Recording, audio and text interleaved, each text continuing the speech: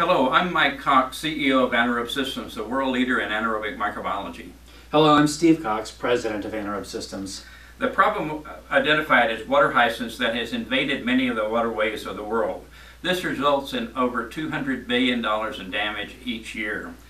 Our plan is to harvest the water hyacinths uh, and ferment it to produce renewable hydrogen and organic fertilizers. The MacArthur grant would provide us the resources to implement our profitable and sustainable solution to correct the water hyacinths problem. Our team includes Max Averill and Tanner Garrett, our operational engineers, Katie East, our microbiologist, and Susie Parrish, our ag scientists. Our proposed solution is unique in that we use a single strain of anaerobic bacteria to complete the compost cycle in less than a day.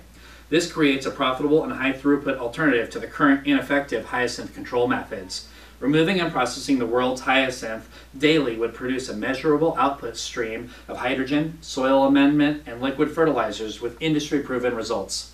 We have proven that our rapid fermentation technology will provide a solution to manage water hyacinths generate clean energy, and produce valuable fertilizers. This will allow local communities to increase food production, produce renewable fuels, while reducing greenhouse gas emissions, all with 100 and change.